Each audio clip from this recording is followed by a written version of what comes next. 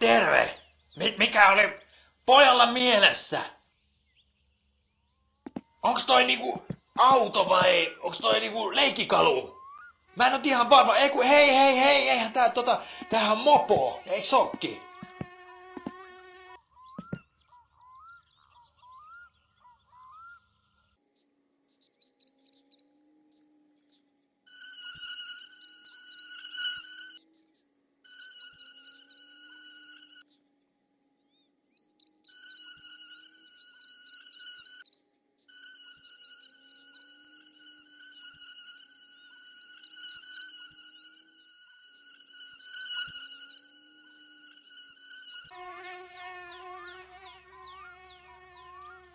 Hei, sä voit ottaa ton mun verkun lainaa, että pääset kotiin, mut oo sit tarkkana. Siinä on seitsemän litran kasi, joka syö sun kyllä aika nopsaa, jos sä pistät sitä nilkkaa vähän suorempaan kuin mitä oot tottunut ton mopoautos kanssa.